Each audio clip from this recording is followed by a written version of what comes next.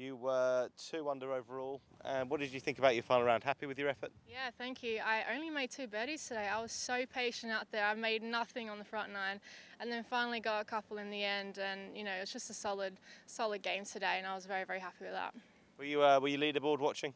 Yeah, I was actually. I, I didn't see my name half the time, so I was like, right, I gotta, you know, get myself back up there, and I did in the end. So I'm very, very happy. It's been a really good week for you, and obviously with your heritage or your half Thai, has that made any difference, or have you just played well this week? Is it sheer coincidence? Um, a bit of both, really. Like I've been working really hard the last couple of months as well, um, but it does help to have that local support.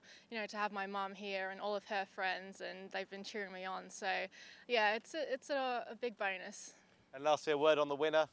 Quite an achievement when you're when you're that age, and of course an amateur, a bit more money for you too. Yeah, absolutely. Congratulations to her. Incredible work. It's just unreal to see all the young girls coming up, especially from Thailand. You know, she she's such a, a really really good girl, and she's very nice, so she deserves it.